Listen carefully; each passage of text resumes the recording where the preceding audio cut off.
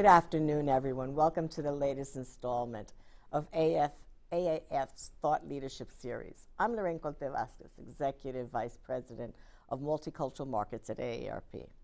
And we're coming to you live from AARP's studio in Washington, D.C.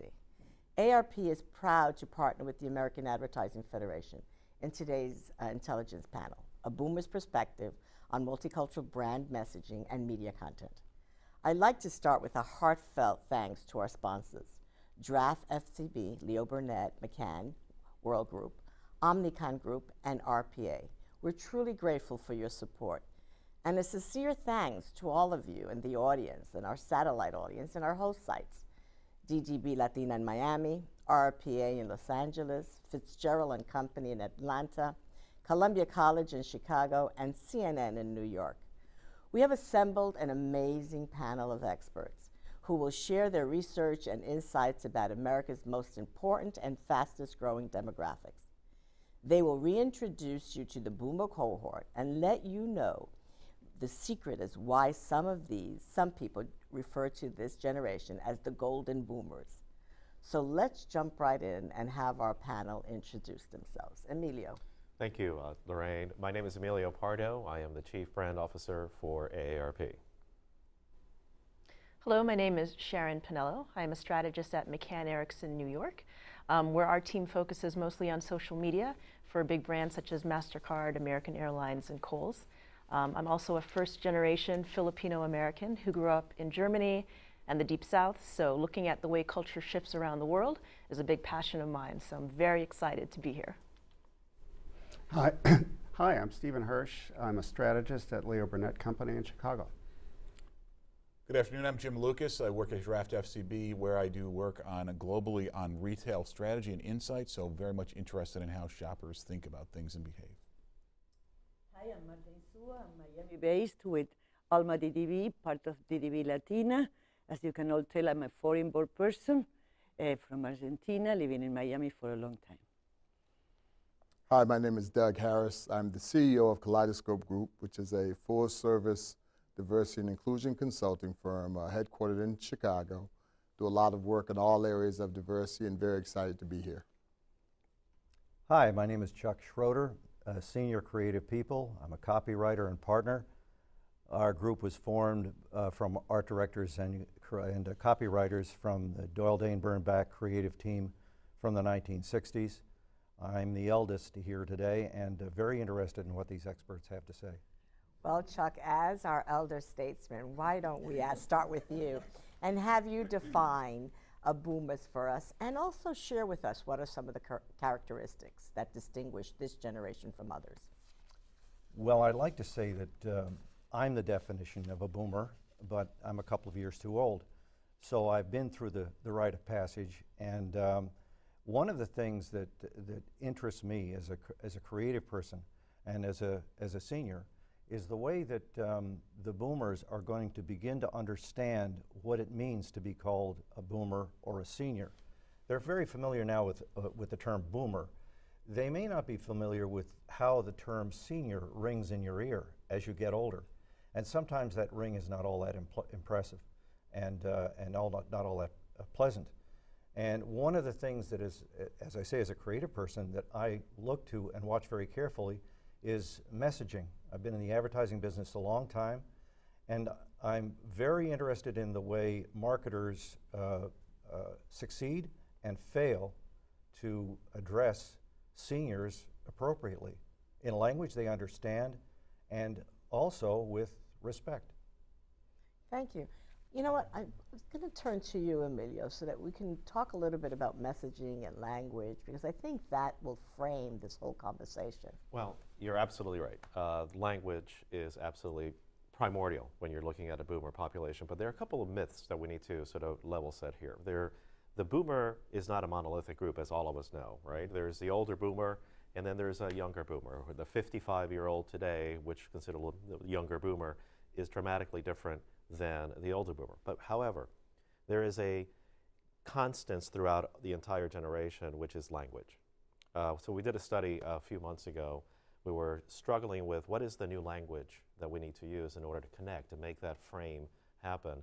And the study was called, when we're going into the study, the new language of aging.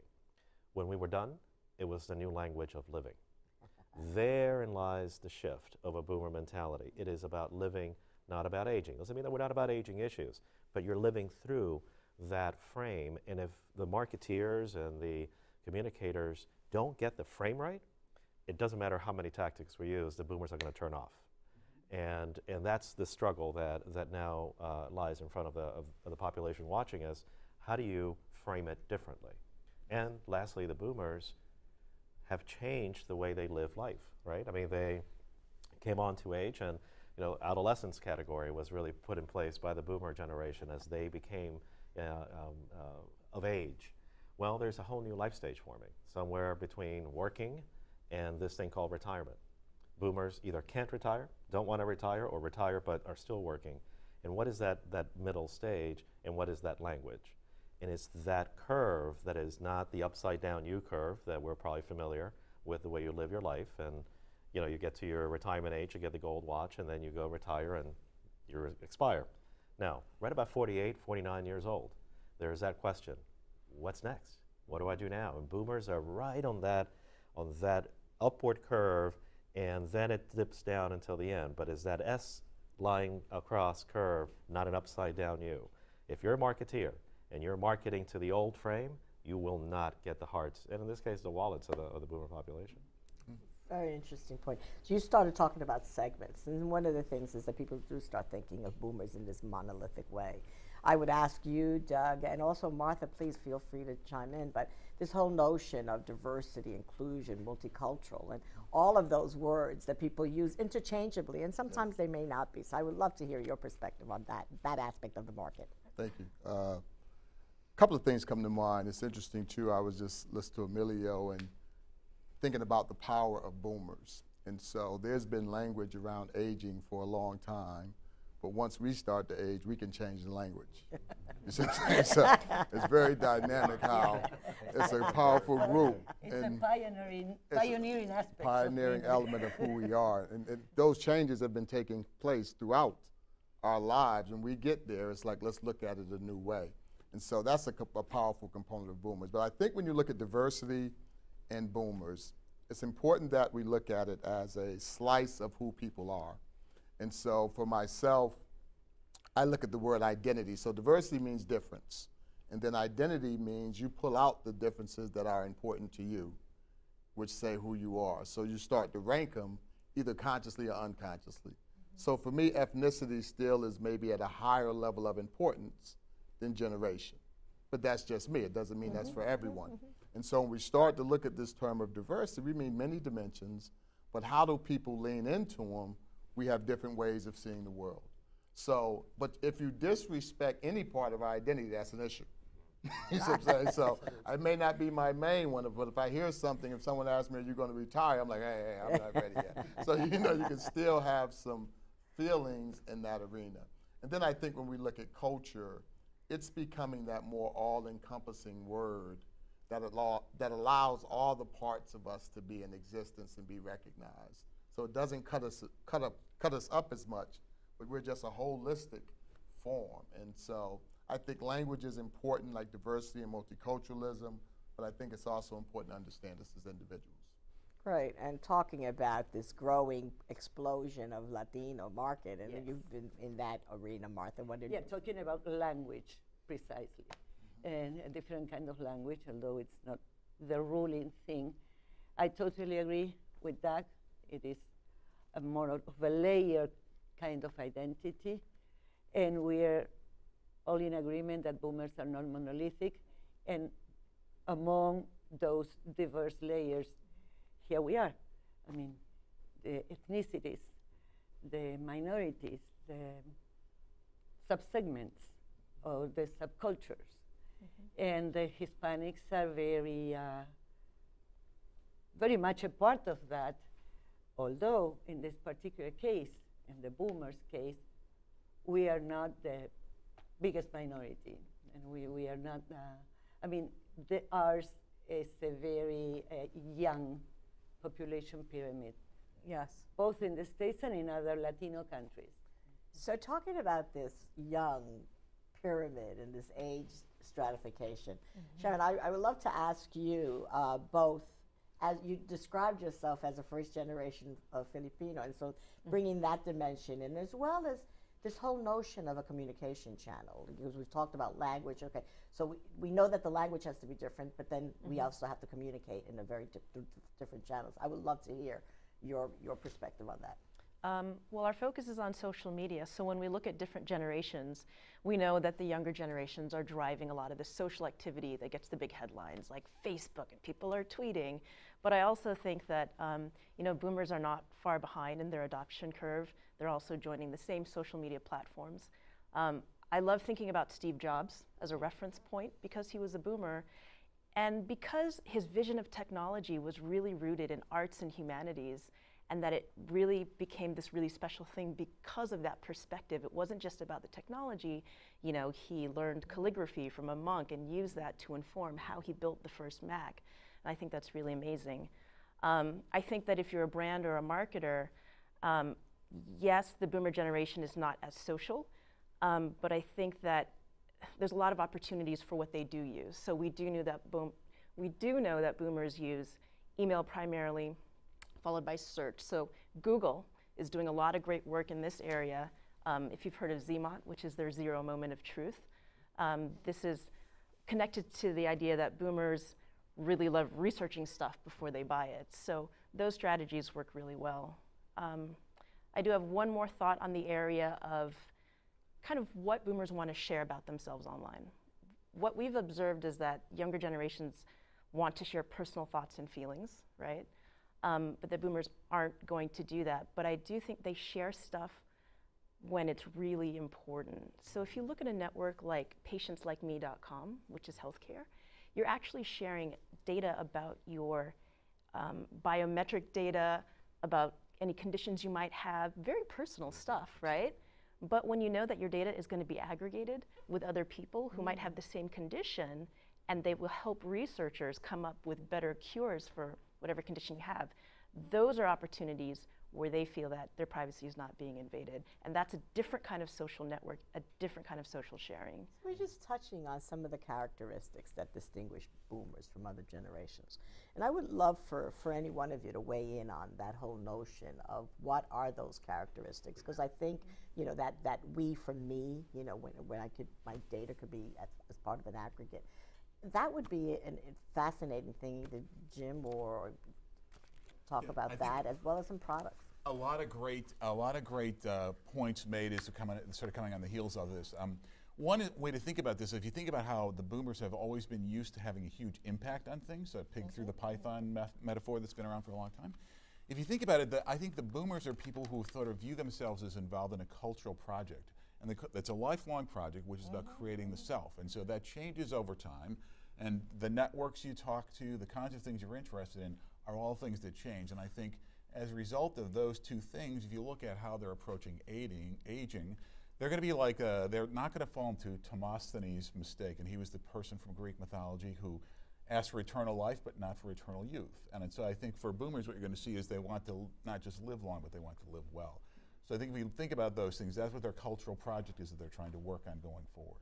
Yeah, so Steve, join in. You know, if, if I can add something, youth is so important to this audience. Boomers don't think of themselves of any, about, in terms of anything else more so than youth. There, there, there's the, the wag who said the definition of youth today is if you're young, younger than Mick Jagger, you're young.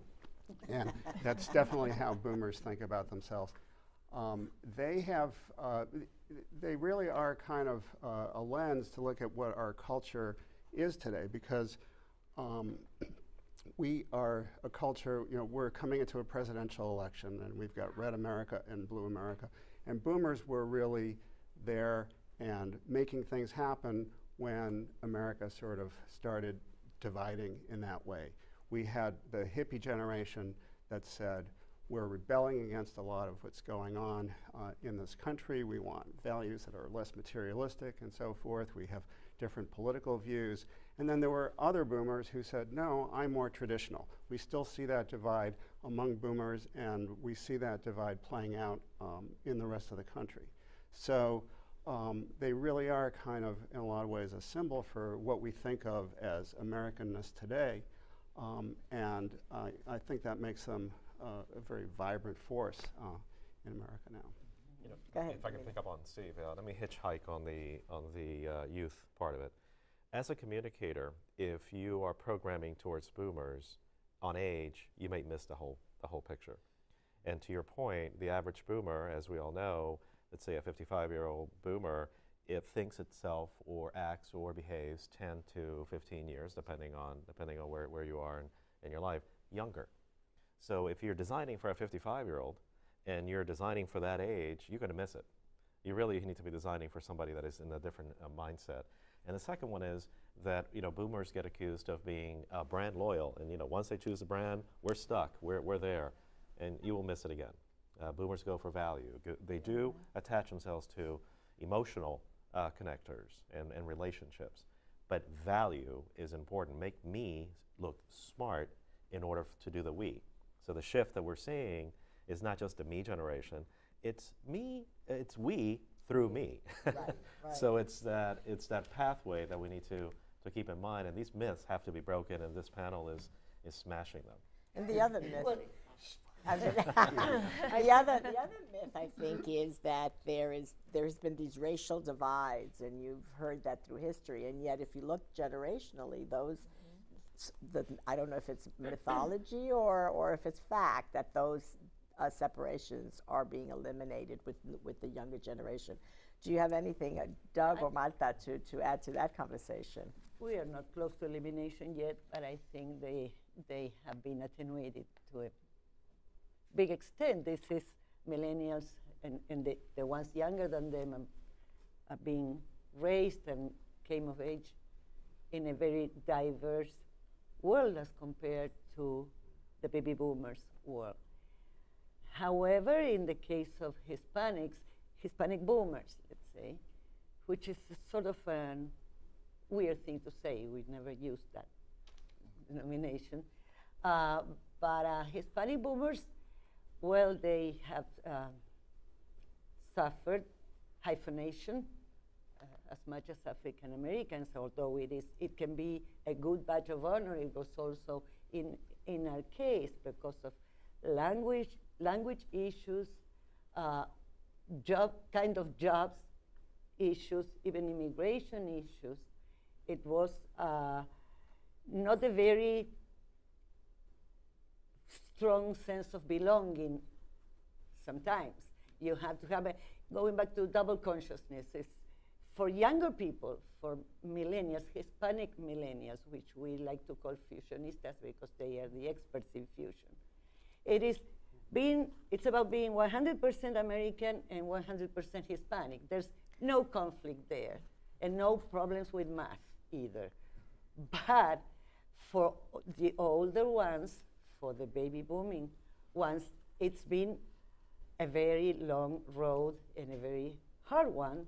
And uh, we pretty much hope that inclusion includes us. Yes, I, um, I agree. I, I think that uh, I had I grew up in Hartford, Connecticut, the uh, inner city of Hartford. Then I went to a prep high school. So my junior high school, seventh and eighth grade, we had 1,300 kids.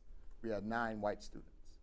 I never seen them, but they said they were there somewhere. But, but it was primarily an inner city school. Then my prep school had 858 black students. Then I went to Tufts University, Procter and Gamble.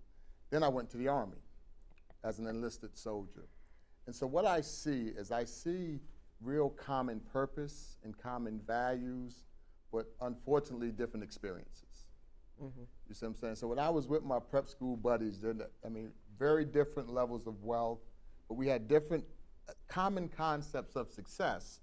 But what we were going through daily to get there was very different. So we were connected, but sometimes when I would explain the disconnect, they'd be like, I don't see that, Doug, you know? I said, no, you gotta listen. I'll, I'll tell you all about it if you listen. So, and I think this is not just in the ethnic place, but on many elements of difference. We need to just understand there's a different experience people are having. And not wanting much more. We don't want special treatment. We just want access and opportunity to the same things, but the experiences become different. Yeah. So then, so then, in, in terms of marketing and, and advertising, how is it that you build, and also in terms of language, Emilio, uh, how is it that you build in those differences, and and and, tho- and what are your strategies to make sure that they're impactful? Well, I think in, you know, in marketing, especially think about products and how that sort of plays out in the store all the way through, is one of the things is that you know we don't want to confuse segmentation with segregation. So if you think about it, on one level, you probably don't want to have those products classified as for aged people, right? So so if you're going to want to track boomers or anyone, you're going to want to make sure that it has a multi, a sort of a multi-age audience. So it might be more along the way of interest if you're trying to sort of target things. And I, we've seen the same thing to be true of other products. You think about like you know, if you're, you know, doing products that are targeted African Americans or Hispanics, you want to be very careful that you're not you know communicating something else is okay separate but equal inside the store, right? Which is always a kind of a problem. And we've also seen the same thing with products targeted to males. So what we're starting to see is you know we need to come to a more you know almost multicultural approach to how we're going to do marketing in the first place. So place all the way through, I think. Every human being has multiple identities. Nobody sees anything funny about being a son at the same time that you're a father, at the same time that you're uh, a husband. Uh, and uh, the same is true as we've been talking about with people's um, identities, whether it's cultural or ethnic uh, or whatever. And so representing different kinds of people in advertising is one approach, but getting deep and finding commonalities, finding human truths that really apply to everybody is really a powerful way to go. Um, I remember working for um, uh, some time on uh, 7 Up International. Uh, we developed a, a, an advertising campaign that was uh, th- that we developed by finding common ground among radically different cultures. We went to uh, Argentina, we went to the Philippines, we went to London, we went to Saudi Arabia, and we found a cartoon character um, that, pardon? Fido. You remember. Fido was unforgettable, right? You've been to Argentina, didn't you say that? yeah, I think we had a problem because people liked our uh, posters so much that they were stealing them Yeah, and they were right. flooding the We are switchboard good for that, yeah. at Leo Burnett um, uh, asking for copies of the posters. We found something about, about human nature that really rang true wherever you were. And that's really kind of the magic. If you can really speak to folks and everybody feels heard, then you've bridged the divide. So, Emilio, how does this? I was going to say, how does this turn into this new life cycle, and how do we sort of like bring that information forth so that it can inform how we market Sure. to, this, Well, to these boomers? Take, take Stephen's uh, point of view here about uh, celebrating sort of the commonalities, but it's also celebrating the differences. Yes. Yes. And that's Right. what we're seeing in the marketplace, and it's a challenge for marketeers uh, and for communicators. But there's one, a, there's an emerging uh, aspect that ties to your social media that if you can add an ingredient to the communications process. So right now we have many companies dealing with social graph of your life, right? People like Facebook. Then you have interest graph uh, companies like um, uh, you know skiing.com or Groupon that are putting both of those together. With boomers, if you can add the purpose graph to that equation, now all of a sudden it's not about age, but it is closer to where you're talking about what is my experience. And boomers are looking for that meaning and purpose. Don't tell them you're going to help them find it because they're not going to like that, but it's there. And those companies and those advertising agencies that can bring the purpose graph and the meaning graph with your interest and your social, I think will find a new audience for, for the products and also for the communications process. And I would say that I, I understand what you're saying, but in the case of what you might call Fido, I don't know how we called it Fido Dido. Eh, in that case, it was a, a very interesting campaign that was based on things that were relevant in, in very different environments, but all of them were what we would now call general market in the respective countries. And that's a big difference. I mean, you can, you can fine tune, uh, but you still would be talking to one single audience in a way. Uh, in, in this country, I believe we might agree that respecting the differences and mostly bringing up relevant experiences that make people. We are all in agreement that this is about the life stage of boomers in, in America, as it is about the life stage of senior citizens all over the Latin American countries and Spain, let's say. But here, uh, the minorities are not necessarily meaningfully addressed by a one size fits all. And I understand the complexity of, and we shouldn't go to the segregation, but we shouldn't go to the wash down either. And, and what Go happens is the- Chuck, oh, what I would love to do is to ask you to sort of jump in on this, but also this whole notion, see, from a boomer's perspective, this whole notion of, of uh, speaking to a multicultural, multi-generational boomer. Well, this conversation between you and me Yes. started with me touching you on the, on the arm. Right. You and I are having a conversation. Right. I was taught advertising by a man who said that if you want to talk to somebody, have a conversation with them. S- look them in the eye, express your views, and most important, listen to what they have to say. And that's what makes great advertising. I quoted um, Franklin uh, earlier today, uh, who summed up this whole process in one word R E S P C T. and that's really what That this is all about. word. That wasn't Ben, it was Aretha. and that's, that's what this conversation is all about. If you show respect, first of all, you're going to open that channel of communication. We're going to have a conversation, and that conversation can be had with anyone. Mm-hmm. Everybody has to be treated like an individual and spoken to with respect like another human being. It's tough because we're all tribal. We come from evolution, mm-hmm. right? Mm-hmm. We have to evolve past our wired self, our DNA. And that's what's going to make us able to respect one another as opposed to, well, you have an accent, so you must be different than I am and not quite as good. That has to disappear.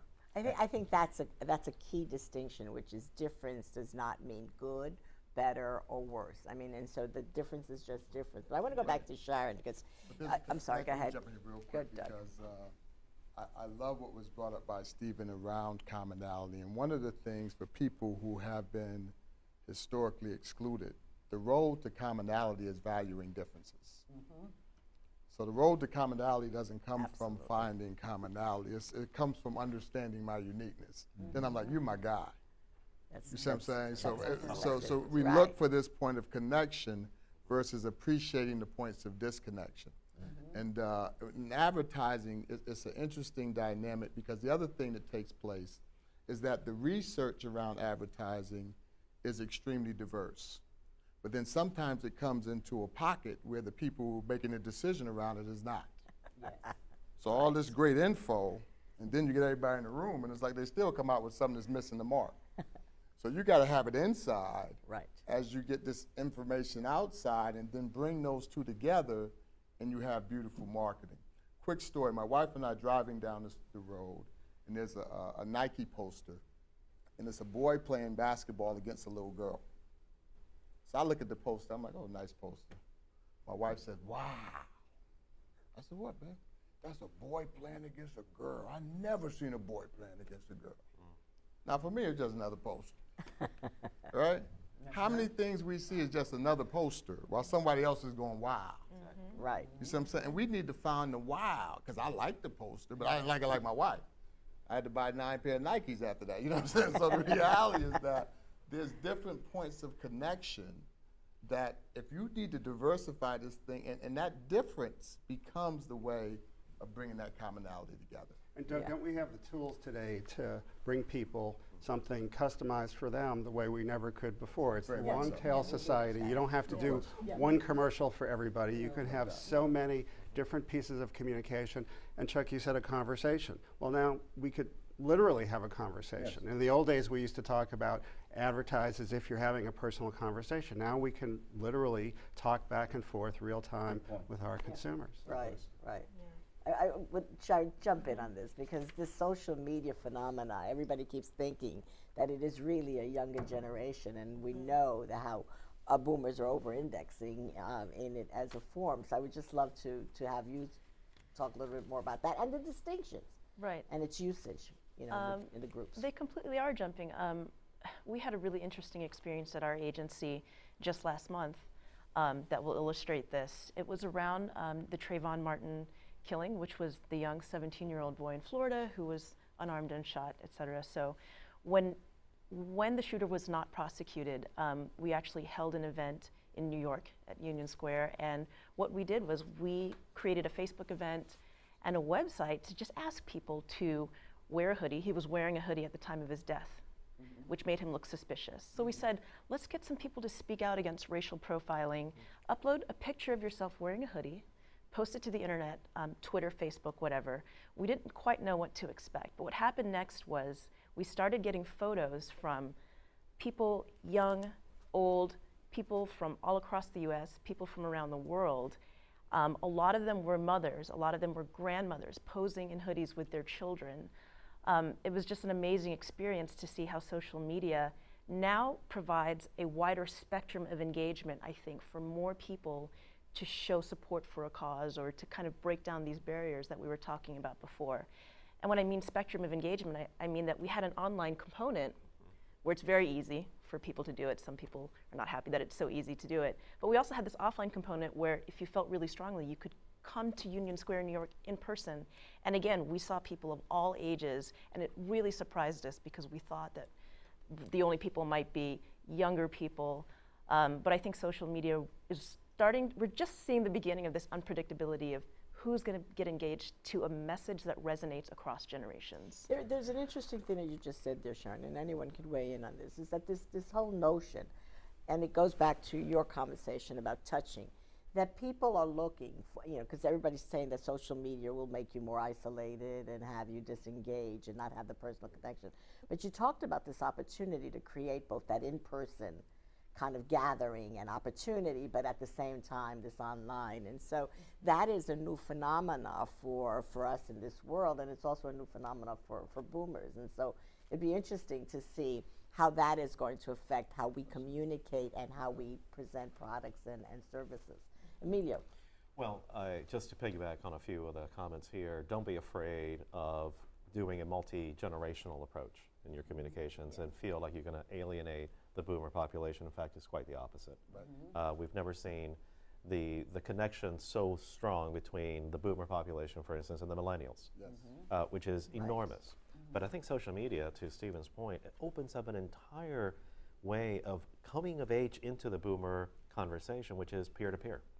You know, boomers don't trust a lot of people other than the peer to peer, right? But in many ways, that peer to peer check in is valuable to whatever brand you're trying to, to peddle into the marketplace. Because they're going to check in with their peers now in ways that we have never seen before, mm-hmm. before they make that purchase decision, which is part of the DNA unraveling of their brand loyal to a point. But that peer to peer that we're talking about is huge. Don't be afraid of making it intergenerational. The other thing you run into is that people will get turned off by the medium if they experience something negative in the medium. So I've talked to boomers and they say, did you hear, did this person said this on Facebook? I'll never use Facebook again. I'm like, hold it, hold it. That was just a bad person saying a bad thing. But they'll turn the whole medium off because it's not about the medium for baby boom. It's about the message. Yes, You see what I'm saying? So the message can go through any medium, but when it's negative, you know, I know my wife was, well, I, let me stop talking about my wife, but she just, you know, cut it down. I don't want it. You know, they'll turn the whole process off. And I'll be like, well, you can do this with it. You can do that with it. Mm-hmm. But they see these bad examples. So the element of quality, mm-hmm. no matter what the medium is, I think is a foundation for how we see the world. And we're open to different mediums if it's connected with the quality component. But, Yeah. but, can I, but, but why then do most advertisers still ignore the 49 plus or the 40 plus, Exactly. you know, uh, in the marketplace? What's going on? Because advertisers Jump in on created the this, youth Jim. generation. The advertisers, and guilty, I was, I was there. Advertisers uh, established this level of obsession that boomers have with young people because boomers are young people. It was easy, right? so now, after being indoctrinated, after being part of a society that changed things dramatically, the 60s were pretty exciting, I would have to say, and frightening, and all of the other stuff that went together. Now they're hitting, six, the first of them hit 65 this year. How do you take somebody who's been told that young is the only thing to be all their lives and now say to them, you're not that young anymore? Mm-hmm. So you have people who deny the reality. A friend of mine who will not take a senior ticket at the movies, mm-hmm. will not buy will buy an adult ticket because she says, "I don't want to watch that freaking movie depressed." That's what we have to change. This whole this whole idea of the of the hoodie, yes, the language and the whole idea of taking these these uh, these symbols, these terms, and exposing them to the to the marketplace in the world, and saying that does not work. That does not work anymore. Here's a grandmother in a hoodie. What are you going to do? You going to arrest her? So the more we do all of this, you know, Jim and I are wearing our hoodies. You know, that we got gray hair. we all have our hoodies. Doug So we have to we have to uh, take the edge, the meanness, and and the discriminatory side of these things off these terms. And I think that social media is going to play a huge role to your point as marketers start to discover this. I think sort of the first uh, discovery of this is at least in a, you know, from research have done it as well as personal experiences is if you think about it, connecting with your children when they're in college, which is impossible to connect with them on the phone or with email, right, leaves you with things like text and, mm-hmm. and, and Twitter and Facebook. What has started to happen is you think about that sort of your initial toe in the water, and what's happened as a result of that is you're starting to see, and I think we'll continue to see, that social media is going to be a way in which boomers are going to explore what their options are as they go forward into the future. Mm-hmm. So I think as you start to see it, to your point earlier, Mila, I think you know it's it's an emerging media for boomers because they haven't quite gotten comfortable with all the things yet, and we still ask a lot of questions like you know what what does this do again, right? but I think as people start to understand what the potential of it is, it's going to be a, a very important tool, and I think it'll be an important tool for marketers because it allows you to listen, which you were both saying earlier, as to a conversation and hear what consumers are saying. So I think in that sense, it helps you get back to all those things you're talking about in a conversation about being able to communicate with boomers in the way they want to be communicated. What's amazing to me is that I, I find this, so we have two boomer generations, right, in my home. I live, my mother lives with me.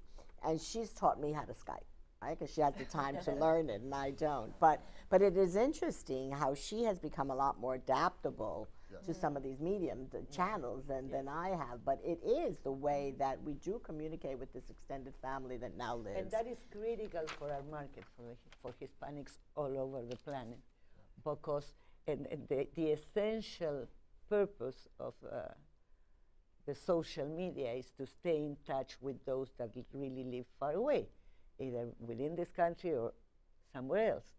It is more about convenience and the ability not to feel isolated and uh, not to feel not in contact with those we, we love or want to know about.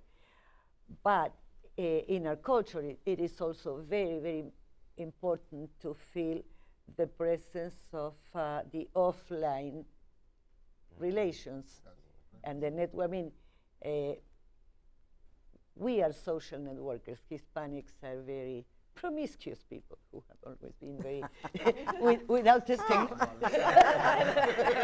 She means that in a very broad sense. Yeah, she has, uh, she- I don't think she meant it in a very No, no, no. sense. No, no, uh, no. In terms of Hispanics. boys Um, will be boys, but uh, or girls. Um, and so anyway, what I would love to do, I mean, because I do think, but I think there is this concern, all right? There is this whole concern using these new mediums in terms of privacy sharing. I mean, Yes. you, you alluded to it before. The concern that we have is that how, how much do you, you reveal and then how much are you protected? And so it'll be interesting to, to hear your perspectives on that. And then I'm going to ask you one more question. Go ahead. Well, like I said before, I think the generations just have different um, things that they consider are private. So for younger generations, to live stream my entire life to everyone with my personal life and details, um, mixing my personal and professional life may not be such a big deal. Um, but again, we have all types of data, like again, medical data, personal data, emotional data. Um, and I think in the end, it's really about the value exchange. Um, younger generations now will give all my uh, email addresses, contact information for a coupon, right, or a discount, because that's my value exchange. Um, I think brands need to come up with more compelling value exchanges if they want the data. Like they have to create the story about if we learn more about you, we won't stop. We will stop spamming you with really bad ads, and you'll get kind of the valuable products that you've been looking for. And I think that's kind of the ideal we're all trying to look towards. Um, I think that we hear a lot about, you know, boomers saying they're not being marketed to. I, I really think institutions like the AARP actually has to educate us, the agencies and brands who market, on how we can better reach you. If you, if you listen to the way marketers today like to talk about brand, it's about utility, right? It's about apps, it's about um, things that boomers actually do value. I just feel like there's a point there, but I feel like you have to educate us and say all these brand utility is actually making your life better. It's giving you the better price on things that you actually want and not bothering you with kind of ads that you don't. It's that personalization also. Well, and then, Yeah. and then, th- then you guys have to stop marketing to us uh, by age.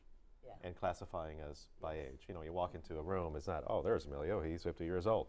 You know, it, it's a personality issue that also, and, and it's a long-term process, but you can't ignore the market. The market, if you ignore that market as any marketeer or any brand, is at your own peril. Yeah, Uh, Yeah, absolutely. There's a natural force that's going to be a gravitational pull drawing marketing toward boomers, and it's really two little things. And those are the two trillion dollars plus that, Lots Boomers. buttons. room, yes.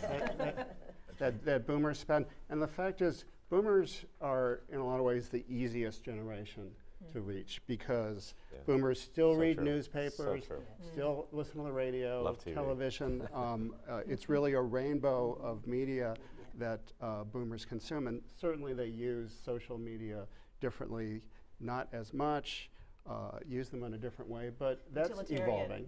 Utilitarian. Get in, get out. I know what I want. Well, yeah. know, Well, but- but, But- but purpose, time purpose also Purpose. kicks in, too. Well, I know Yeah, what I I want once I search Huge. for it and once I, and I, and I get my peer's opinion on it. So it's Yeah. not so much I know what I want, it's sort of I know what I Yeah. want. And then I'll know what I want, Yeah. you know. And it is very research based. We conducted very recently qualitative interviews with uh, car buying intenders, uh, Hispanics, uh, mostly Spanish dominant from all over the country. And they would research in the myriad uh, sites that could provide information about uh, comparison between cars, as long as or up to the moment when they were asked for personal information. And these were not only uh, boomers. These were there were a lot of 30 somethings over there. It is a cultural thing. I don't know. It's just something to take into account. U- utilitarian uh, has its limits. When uh, sometimes it collides with some cultural aspects.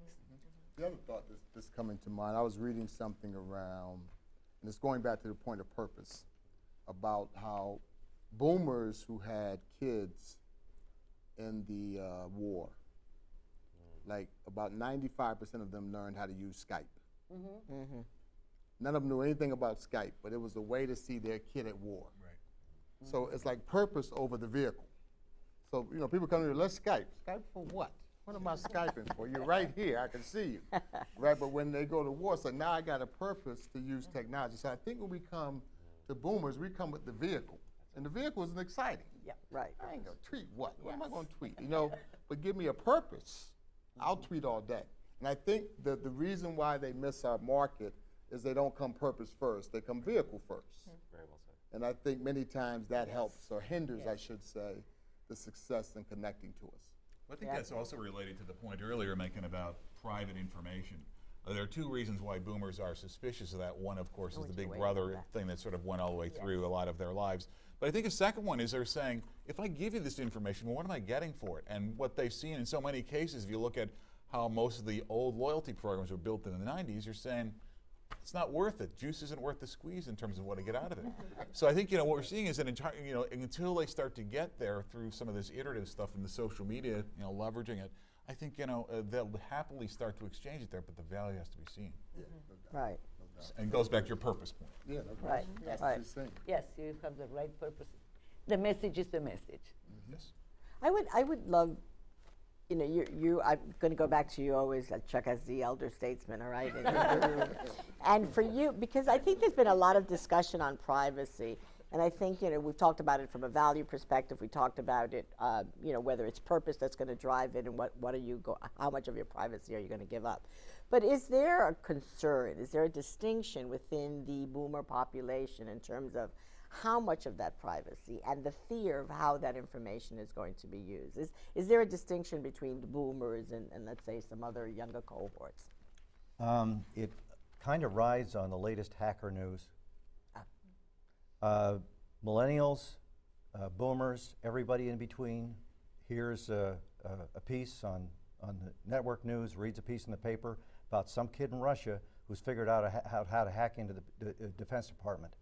If you can get into the, the uh, Defense Department's mainframes, you can get into the cloud.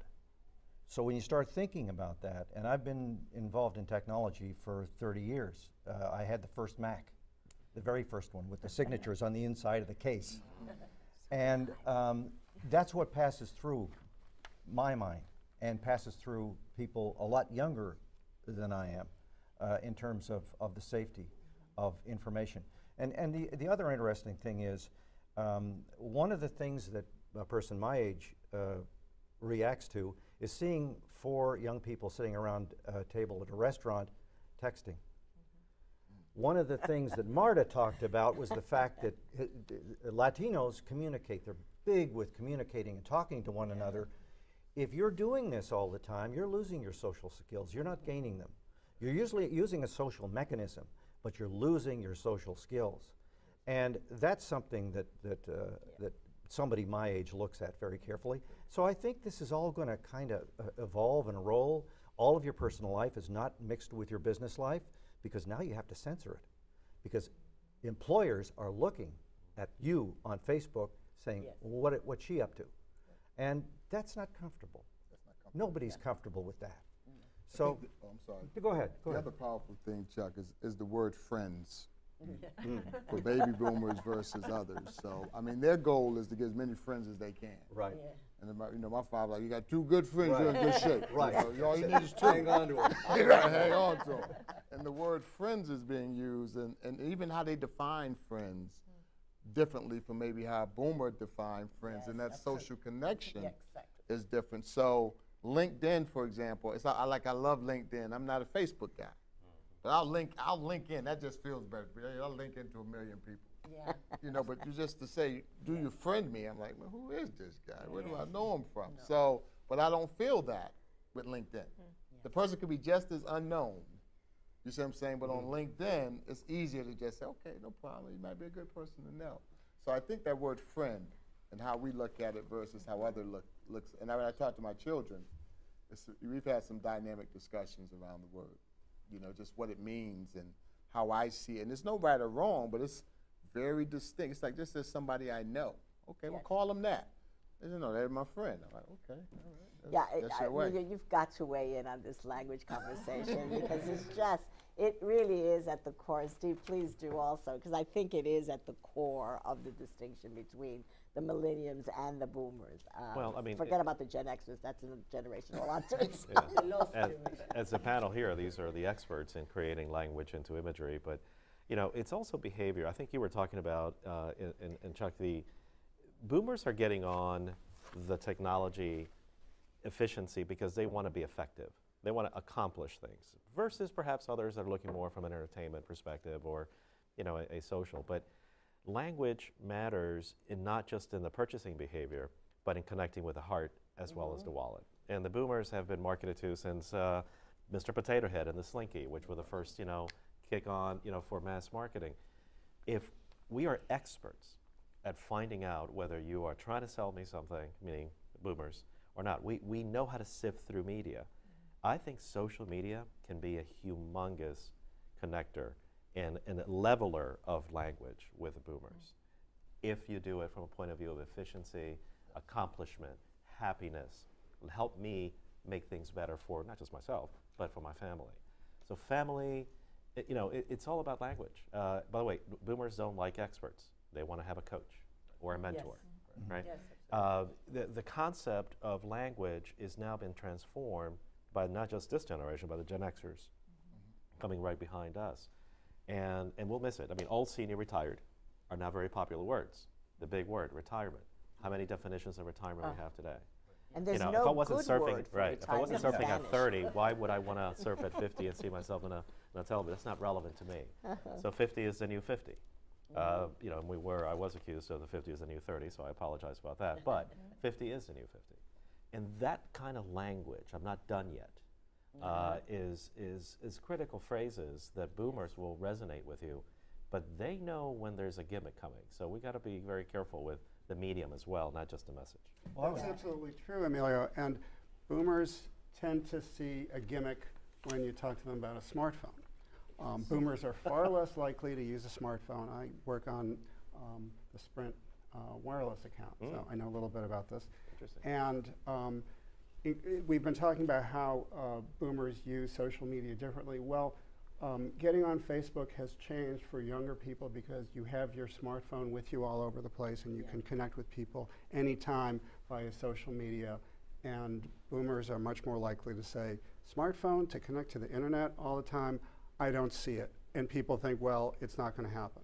Well, the United States used to use very little in the way of text messaging. Europe was ahead, and we said, well, I guess it's just not a thing for the United States. Well, it came later because people hmm. discovered it. We didn't have as much economic pressure to use it because pricing over there in Europe made it much more advantageous to use text messaging, so they got it first. But we figured it out, boomers are going to figure out the value of having the smartphone, and a lot of the behaviors will be pulled along then because it's with you all the time and you can use it. And uh, we have to remember the mutual influence that always existed and exists between boomers and millennials, and the echo boomer original uh, denomination by uh, Yankelovich. I mean, we are mutually uh, learning from each other or coaching each other, so our children will uh, teach us how to do the thing of passing to uh, mobile or smartphones as a way,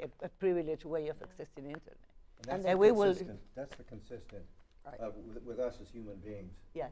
We have, for a thousand generations, taught the younger how to do things, so when they get a little bit older, they're gonna teach the younger, and it passes up through, and that's why we, thanks to our opposing thumb, have been able to develop the brain that we have now. You know, that's a very powerful thing. Uh, if, you, Right. if, if you extract what you're talking about, a- adaptation, in the boomer, we have, the boomers have had to adapt to a gazillion changes, and now more than ever. Yes. So now all of the, the systems that we all grew up with, uh, we can't trust them, uh, or at least boomers can't trust them. And what, are, what is that, that navigational system that allows us to live our life in the best way we can? Adaptation in a changing world is a very powerful frame to introduce a service, a market, or, or a product. And I go back to help me live my best life, help me adapt, then I'll, I'll, I'll opt in. The concept of, of recruiting me for something is gone with boomers. They're opting in. Let me have the choice. And I do agree, Stephen, on the, uh, on the concept of, of, um, of the early and later adopters. But let's face it, boomers w- are buying more smart uh, devices than anybody else in the marketplace. I mean, look at the sales of iPads and iPhones. 75% are 50 plus. Mm-hmm. Now, it may be they're buying it for somebody else in the, in the, in the household and themselves. But ignoring that wave will ignore your bottom line mm-hmm. in, in the marketplace. Mm-hmm. Apple doesn't advertise to seniors. No.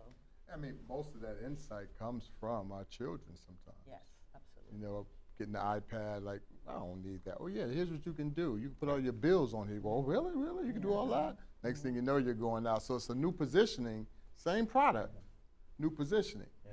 You see what I'm saying? And that new positioning, it's like, it's that's that connection you were talking about earlier. This thing is good. now, why it might be good for you, it'd be a little bit different why it's good for you, but it's a good thing, and we reposition. So Martha, both Martha and and and uh, Chuck both talked about this changing role. You know, like when you were once an influencer, and now you're the one that's being influenced in this intergenerational aspect. I think that's going to be a, an important discussion because as we it's also going to be important because we're going to have a panel after this panel that's going to be a youth panel reacting to everything that you said. So this is your time to be an influencer uh, and to also help uh, shape that conversation. But it, it is it is interesting, uh, Jim, when you start thinking about those distinct roles and that and how those are evolving.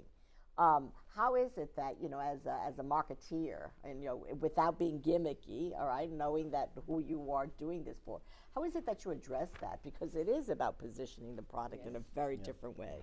Well, I mean, I think one of the biggest things we said is something that, that Doug mentioned earlier, which was about it's now purpose over product feature is what we're seeing increasingly. And we've done a lot of work with neuroscience and eye tracking, all those kinds of things to see how people process things. And you realize that all these things happen in a fraction of a section, second. And so what we've seen is that you have the rise of visual literacy. I can, you know, I can do all this stuff without ever uttering more than six or seven words. And I think if I can get to the heart of the matter, which is the benefit or the purpose, which is exactly what you described with your you know, iPad example, that's a really good way to communicate with anyone, right? So that what's beautiful about that is, again, if you look at boomers, they're much more focused on the purpose or benefit of this product. So I think it becomes a way to sort of go after that without ever having to, to say, oh, we're going after a specific age group, or it's not so much focused on who is in, It's- who you're about the picturing in the commercial. And, and about not alienating any of both generational ends. Because if you i- i- if you believe that by focusing on millennials you will be cooler, you might be wrong. I mean, the, One of the other thoughts coming to mind as you're talking about even purpose with them. I know they had that uh, that body wash for the young people where you, you use it. You eight girls come running. My- I go in the bathroom. My son got like eight bottles. I'm like, what's going on? You know, the purpose was was impressive. Yeah, so purpose purpose was- is also for others. You know, it's like it was body wash, maybe body wash, but that ad did was great Yes. based on the purpose that it put out there. And so that, and then you look at that multiculturally. You know, how does that work around purpose multiculturally? You know, what, how do you get the right information to say, this is what would give that purpose for me? This is what would give that. And then have people assessing that through diverse eyes, I think we're on to something. Well, you know, one, one thing, just to follow up on your example um, about the body washes, what's interesting about that is the people who consume it are not the people who buy it. The people who are buying that product are mothers of those young adolescents or young adults, right? And we're pretty sure that their mothers don't think that if they use this, they're going to get lucky. What they're saying is, I'm just so grateful that they're taking an interest in their personal hygiene, right? So if you think about how you're how you're trying to get to the purpose, right? And say again, you got different segments. So I think that's one of the ways we can sort of you know address some of this messaging wise. Right, you've never been cleaner, son. Yeah, but, but I, I before before we move on to it to a sort of like a different area, I would really like uh, Chuck to talk a little bit more because it, it really that you made an interesting comment before when you're using the medium and saying you know you you do lose these like social abilities. And and what is it that we can you know sort of like impart particularly because it is such a phenomena and it is such an influencer and an intergenerational aspect? You know, this use of the four people at the dinner table not talking to each Yeah. other, but obviously connecting with someone else and not using that opportunity. maybe amongst themselves. yeah, it can, happen. Yeah. Well, yeah, I think it's the, the value of storytelling, which in our business has always been, sometimes it's slipped into the background. The technology's forced it into the background because the tech doesn't have a story. It has a bing and a bang and a boom. So uh, I think if you focus on the value of storytelling, again, I hate, hate to keep going back to 10,000 years ago in our campfires, but, but we were telling each other stories. And that's how we uh, shared information as cultures and, and as people, and it's how we evolve. So we have to, I think, reappreciate. Some never lost it. We, we have to reappreciate the value of the story. I think I think this is an interest. Go ahead, Emilio. Were you going to say something? No, I, I think storytelling is a huge antidote for what we're talking about here, and we, we believe that it's across all generations. Yes. Maybe coming from different different points of view, mm-hmm. and and I think that's the responsibility. There's a certain sense of responsibility and purpose and meaning from the generation of telling their story, mm-hmm. and frankly, that they're not done telling the story yet uh, or shaping it. So we have a few more years to go to finish that mm-hmm. storytelling. It's a very powerful conversation to have if you have a product that or a service that can connect to that. Huge. Yeah, there's storytelling and, and there's listening skills. I think Yeah. that's something the boomers have to impart to the millennials. Sherry, Sherry Turkle, the psychologist at MIT, spends a lot of time studying and writing about the relationship that we have with our technology. And she's observed that we put ourselves in a bubble when we forget basic manners. We're talking with somebody, we don't really engage in that conversation because we're looking at a device. We allow ourselves to be interrupted. We say, Well, I'm talking to you, but there's something else that's more important, and it interrupts the flow of the conversation. It interrupts the story, it interrupts the experience of, of listening, and I think that is something that um, we, we can value as, as boomers and that we can impart to, to anyone else.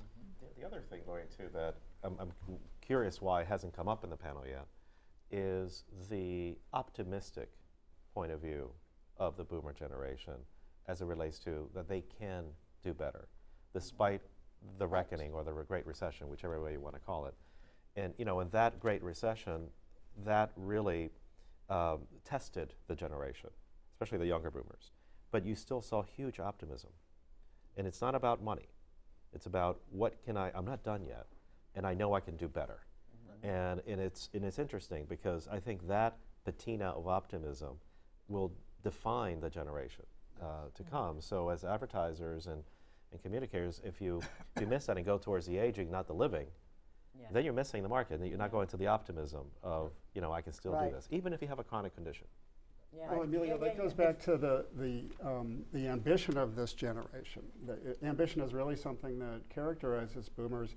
Yes. Um, and back in the 60s, some of us remember, we knew we could change the world. Yes. If you can change the world, And did. and did. Did. So But boomers are still thinking they can, and we are still Right. changing the world. I mean, and that's the, the Right, and if you, The worst, ana- the worst analogy, uh, uh, the, the Python uh, uh, analogy is, is interesting. Uh, I heard it described by a, a sort of a seniors expert on, uh, on NBC who was saying the boomers are a bubble passing through a python. And I listened to that and I said, what happens at the other end? it's, a, it, it's not a good kind of a picture to, to draw in, in somebody's mind, but, but the fact of the matter is that this, whatever, however you want to describe it, is going to change society. As boomers become older and begin to appreciate the fact and understand the fact that they are older, and that maybe they haven't treated older people all as well as they could have in their lives, our society, I think, is going to change because of that. already, right? Yes, it is. It is already, and and this society is going to get a little bit closer to the Asian societies, the Latino culture, where where seniors are not only respected, but in many cultures they're revered for what they know. I don't mean to run on here, but um, the tsunami. There was an island out there in Indonesia, and older folks saw the ocean going that way, and they said, "We're out of here, all of us are out of here." And everybody standing around going, "What?" And as a result, eight or ten people died on this island, as opposed to thousands that could have died because the old folks knew what that meant. Mm-hmm. So, which brings us to an interesting phenomenon. This is the first time in society, other than when we were an agricultural society, where we have three generations, you know, in this in the workplace, and and work probably four, probably four now, right? Uh, working towards a particular task, and also going back to this whole notion of the role of the boomer as sort of like this elder statesman and the sage. It'll be interesting to see how that will change the workplace or the impact that that has on the workplace. I'd be, I'd be curious to see from any of your perspectives what you what you view on that, and, and, and also from a multicultural perspective. Yeah, no question. We- There's a term we use called generational synergy, which talks about there's a mindset from some that once they get older, they'll be like me, you know. But they've grown up in different times and different exposure. They'll never really be like us Mm-hmm. because they've seen different things. We had two or three channels, and they all went off at nine o'clock. You know, they got eight million channels. They're just exposed to so much that they got a different way of seeing the world. So how do you look at the word? And I think you brought up earlier, Chuck, is respect. Mm-hmm. And so we'll use the word respect, but then we say respect looks like this. And that's the error. The word is important, but the word has many different looks. Mm-hmm. You see what I'm saying? So my father, I tell him, I, I once asked my father, why? Why should I do something? He said, I'm gonna give you one answer. This will last the rest of your life because I told you so. you know, I never used the word why again. Today we're conversing. Hi, son. Oh, hi. You know, we're having these long dialogues about cleaning the room. You know, those, those things didn't really take place too much when we were growing up. So it's still respect, mm-hmm. but it looks different. And so I think that is something we have to wrestle with, because in the workplace, you know, even how we looked at managers and bosses was different. You know, how we, we, we believe that we had a term called pay your dues. Yes. Those, th- you know, it's just a different world Yeah. today, and we fight it, Yes. but it's just a reality. Yes. And how do we bring all those differences together to produce outcomes is a task many organizations are addressing. But you know, there's also the concept of the, fif- the average 50 year old today is looking at 20 to 25 years of work ahead of them. Left, right. You know, to Lorraine's point about the mixture in the workplace, that is going to redefine what it means to not only work, but to your point earlier, when that, at the end of that other Python, we don't know. We've never been here before in America where we have 70 year olds into retirement in the millions and millions and millions of generations. Yes. We've never really experienced that before. So we're entering a new territory. Right. And, and that is the responsibility, I think, of this. I love this energy that you're talking about with the generations. Yes. There's a burden going on that is not just for the millennials picking up the boomer, it's the other way around as well. No doubt. We have that responsibility. And it's a Yeah, new, but- it's a new trend. So, sorry. No, that we, we shouldn't forget the f- that when Xers came into the labor force, it was easy because there were so many boomers and so little Xers. Now, we are facing another unparalleled situation. Two generations with the same weight in terms of quantity and the same kind of energy as well. and uh, so, what's going to happen? Because the pay, pay your dues thing is not playing up, we both need each other, eh, but it's also, I wouldn't say a power struggle, but where are you going to leave my place, place vacant? No, we have to Uh, face yeah, that. well, the, There's- uh, there's the one other extras, quick- the extras do not believe in pay your dues. They've, they've, they've, come, they've come from a generation Yeah. where they've seen what That's paying, right. the results of paying your dues. Right. Yes, So yes, they've that's seen, they've been the disappointed, they've seen all the disappointments of the parents and, and, um, and Another that real whole. quick point, a trend in generations is that people are getting to maybe 60, 65, staying 15 more years, but I know an individual who was a CFO who's now a financial analyst. yes, You see that's what I'm saying? point. He ran all of finance. He said, I want to continue working, but I don't want this kind of pressure. That's the So he kept working, Right. but now he's a mentor. Mm -hmm. He's in a he's in a second level entry level position. When he was the top CFO. So when people stay, they either leave and do something they enjoy, There you go. Right. or they'll go into another place where I'm like, I don't want the CFO thing anymore. I don't want that level of pressure. And, and that's what we're seeing in the That's marketplace exactly as that new life stage that we Yes. talked about Right. here earlier. And it's uh, undefined yet, right? It's, on, it's unnamed yet. Uh, but it also taps the purpose again. Yes. Because that, assume the 52 year old that just lost their job as a machinist, that job will never come back. But they have to go to work. Mm-hmm. And they have to reimagine their gifts, their passions, their values to find work. So therein lies another shift in language, right? I mean, boomers, and especially the Gen Xers coming back, they're, they're having to reimagine, not reinvent. That's another word that is too big for, for a boomer. That's Right. too big, it's too heavy. Yes. But reimagining means I have to go inside and figure this out. That conversation is going to be very interesting for marketeers to tap into. Because Google has it, LinkedIn's already onto it, and, and social media is leading the pack. Yes, Y- Chuck. Yeah, the interesting thing is, uh, just from my perspective, I never heard the term road trip before the 60s. Remember the road trip? Hey, where? Doesn't matter. and you're on the road, and sometimes you're on the road for days. Right. You know, and and I think that when you come from that kind of a, uh, an environment and a mindset, it, is, it really equips you especially to say, okay, I'm not going to do this anymore. I'm going to take a new road. And so you have that flexibility built into you. My parents didn't have that. They couldn't do that. And, and th- there's a lot of pain loose out there in our society now because people can't find the new road. But it's there. Yep. It's there. We And- up and with it. are looking for it. Yes. Uh, yes. they're So, searching. so, so that brings us to the question. so will they influence? I mean, will they still, you know, kind of like keep being an influencer and in changing the society? Because we're still talking about they were the ones who started this whole societal shift, and here they have this opportunity. So uh, how is it that we live into that new space?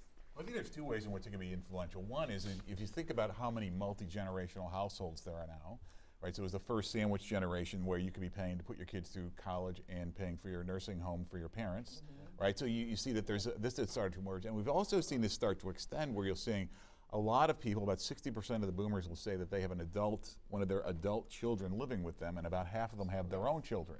Right, so you, you've already got the generational synergy, maybe more generational synergy than you want, right? But you know, it, it is there. I think there's a second part of that though, is you start to think about how this starts to change what's going on. So it gives you a good way to start to have that contact between two or three generations in the same household.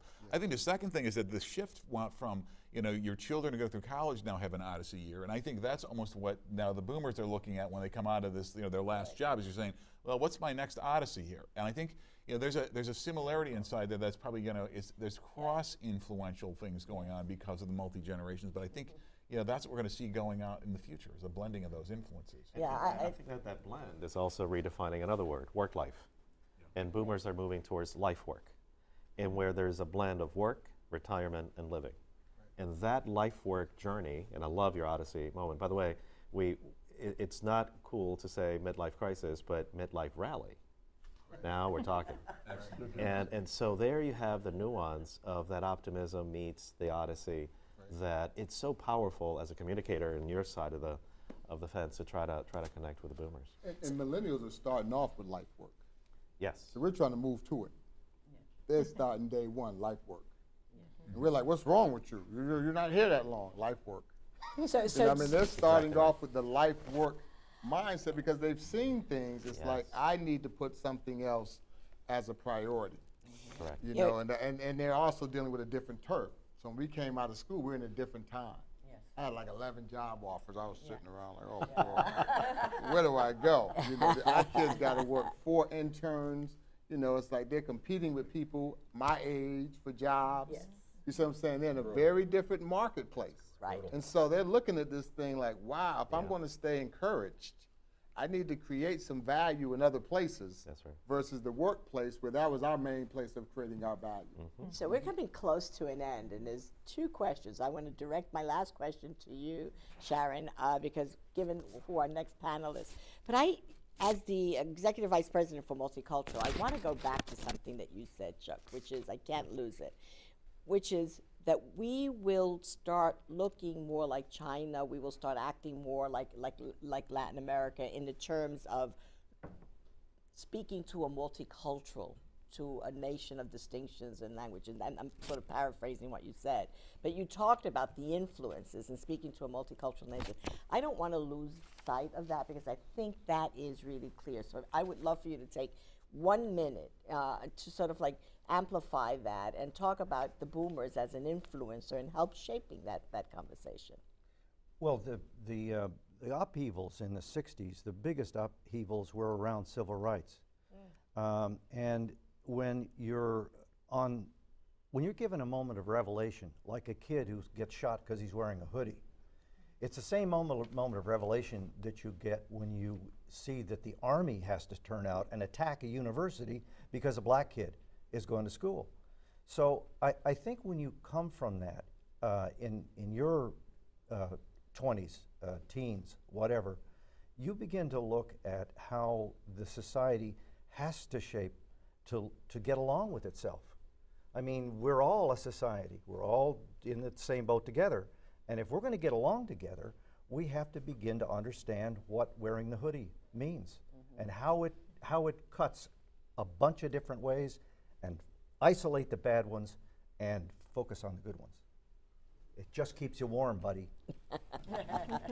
It was interesting that during that same time there was this whole advertising in I think it was Vanity Fair of, of hoodies for women, and I just I'm like, oh my God, look at the contrast in time here, um, and uh, and just changing a conversation. Well, but I wanted to go back to Sharon because we were talking about boomers as an influencer and uh, and this whole you know multi generational workplace and homes and sometimes much to our dismay. uh, but do you think that boomers are really the influencers, or do you think it's the other way around? I mean, particularly, we're going to have a panel that's going to react to everything that you said. So this is our opportunity to start having those discussions. That's a tough one. I think it's both. Um, you know, when I think about influence, I have to put my marketer hat on because we're obsessed with influence now, right? With social media. I think before influence might have been what celebrity is going to influence whoever that you want to talk to, right?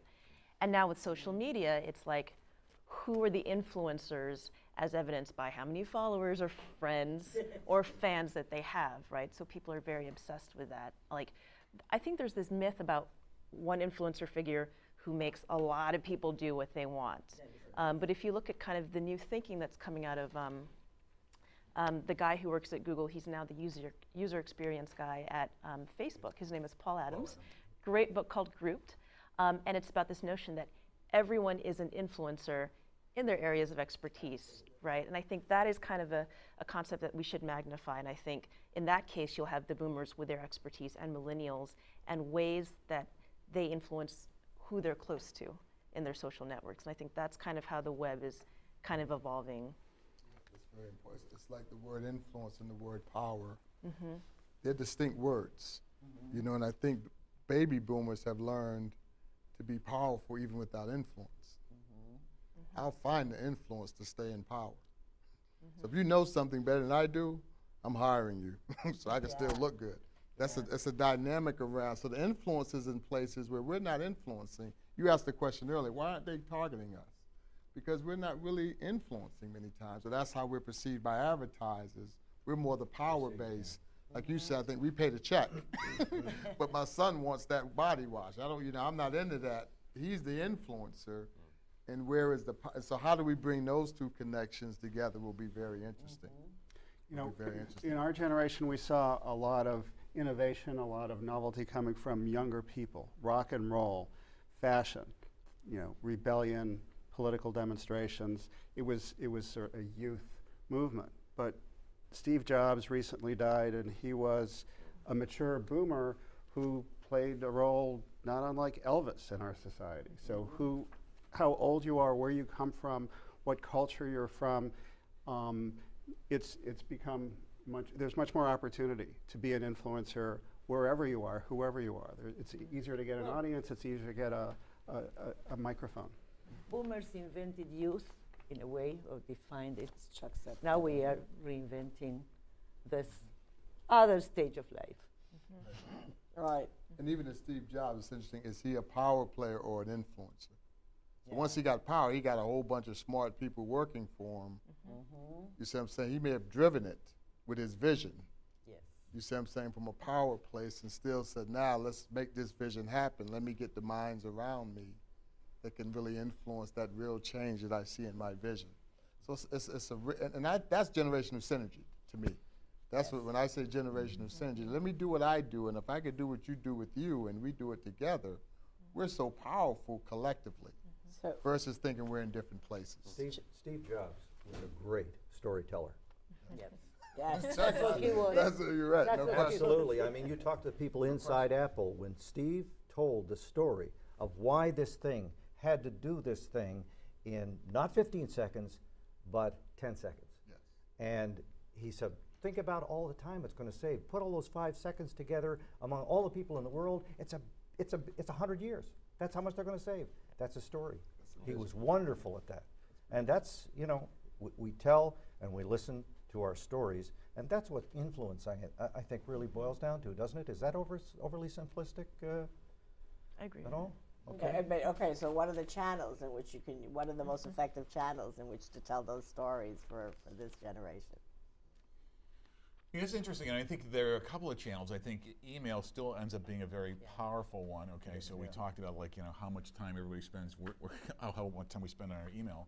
But I think it, we're starting to see the social stuff starting to emerge. So if you look at you know again, as you said, as boomers begin to understand this, probably largely at the tutelage of their own children or grandchildren in terms of you know who they're going to link in with or who they're going to you know, talk to on Facebook or whatever.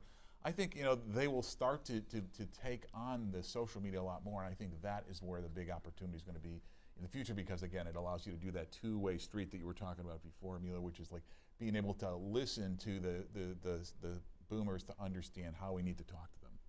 Yeah, but some of the other mediums are very important, particularly Google just came out with some study that it talked about the Hispanic market, and the Hispanic market needs to see it on television before they can search for it on the internet, and then when they see it in both places, it becomes a, a premium, trustable product for them. And so, And, and right Yeah. now, boomers uh, spend a lot of time on their computer, on their desktop. Um, but th- as you say, they're, they're doing uh, Google, they're doing a lot of email, Jim. Um, but the marketer that can tell them the story and say, here's the purpose for Facebook, here's why you should get involved, is going to win some friendship there. And I, and I want to piggyback on that because I think its purpose meets innovation in the future. I mean, for us to think that we're not going to innovate the next interface, uh, it's wrong. Look what's going on with uh, smart televisions coming out now, where it's voice activated or motion I activated. know, it freaks me out. Well, we know, yeah, right. You know, that's that's an issue of convenience and an issue of um, accomplishment and efficiency. Boomers are going to go for that, just as much as the millennials are going to go at it from a different point of view of coolness. We're going to come at it, or boomers are going to come at it from, I don't have to worry about reprogramming that machine again. I just tell it what to do. Uh, and, and that that is the functionality that you cannot miss as an uh, engineer of of new product uh, uh, experiences. It's so amazing because when I first heard about that, and this is just a small anecdote, I remember thinking, "Oh my God, this was the first way I thought of television. Where are the little people, you know, inside that box?" And it just threw me to that when I first started hearing about that new technology. we have a few minutes left, um, and I have Fran in my letting me know how much more time we have. I would like to give you one opportunity because the next panel behind us is going to be this youth panel. And although we should not be trying to influence them, this is a good opportunity to spend just one moment and have everyone do sort of like a little round robin as, as to what's the message that we would want to come out of this conversation about the perspective of boomers and how we would like that to, to close this program. Okay, I'm going to start with you, Marta. Oh, okay. Well, I will borrow generational synergy from Doug. Two dollars, Mark. You're cheap. That was easy. What Doug, Doug, but uh, no, Doug. but, but I mean, generational and multicultural synergy, but really inclusive. And I will rescue the concept of respecting the differences and understanding how enriching they are from a marketing perspective. Doug.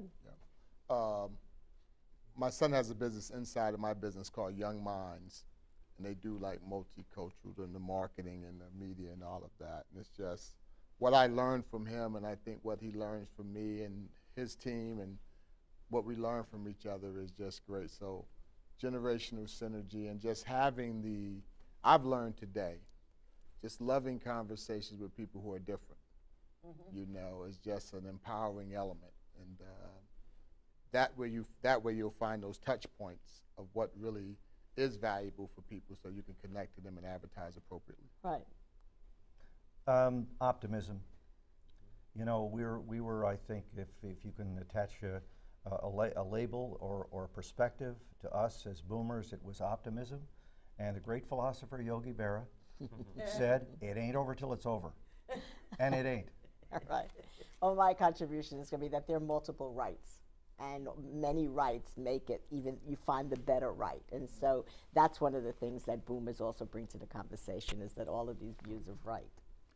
I'm going to go with hyper relevance because I think uh, one of the key things we're starting to see in just about every one of these, and it's sort of behind what Emilio said initially, is if you think about it, like how do I make sure that I'm going to communicate with people at the right place, the right time, with the right message? And I think, again, that sounds kind of trite, but what we're starting to see is, and go back to the purpose thing, is that things like mobile are starting to be thought of the same way as packaging or POS, where people are starting to say, this is something where I can use it immediately to make a decision. So we're, we the landscape's changing, and I, so I think there's a big need for hyper relevance as we go forward, especially with the boomers. Yeah, like sort of is that related to purpose, right? Yes. Yes. Good. I think marketers can um, think in terms of marketing to each other. In the 90s, when the economy was going crazy, and as Doug talked about, there were job offers all over the place, it was hard to keep people in a company sometimes. And there was the concept of you've got to market to people. You've got to make it clear to them how it's enriching, how it's a good experience to have this job, and that their contribution is valued. So recognizing the differences, who they are, where they're coming from, what they want, and making that uh, ma- making the whole experience appealing um, really creates a lot of synergy in the organization and and and they should market back to you and show why uh, they're valuable uh, and, and why they're contributing why it's a good experience to be working with them if everybody works together like that then you really have synergy I'm going to go with um, passion points over age demographics. Um, I think that a, a good example is Weight Watchers, one of our clients. They have a website where you can find people by age or location, and there's some stuff going on there. But the Facebook page for Weight Watchers is actually much more engaging in terms of conversation. I think it's because there people are really just focused on the passion, which is trying to live a healthy lifestyle with what they eat. And so people are talking to each other there around what they're passionate about versus kind of what defines them by their demographics. So we're going to go to the boomer expert. Uh, Emilio, we're going to Well. end there. Well, I'm, I'm going to turn it around, and, and for the next panel is don't think of the R word as retirement, but think of relevance. How can I be relevant to my generation? And if the next panel is looking at it, I would, I would add two things to it. The brilliance of this panel is it's about language. And it, it's an optimistic point of view, but it is also about living your best life and, and trying to navigate language and the commonality of the multi-generational approach. And uh, don't miss the fact that the wallet is also quite, quite large in, in the generation. Good statement. I, I really I want to thank you, each and every one of you. I first I thought I was going to have to be a referee, given what we were going through in the green room, but it didn't turn out that way. Uh, thank you for your insights. Thank you for participating. I would love to thank our sponsors, um, and hopefully that we will, as boomers on this panel, sans Sharon, um, we could really influence and really have changed this conversation and changed the language by which people are talking to the uh, to the boomers. And I'm be very curious as to see what the responders, who are much younger than we are, will have uh, given our comments. Again, thank you all very much. And um, thank you, Florida, Atlanta, CNN in New York, and all those other places who have joined this conversation. Thank you. Thank you.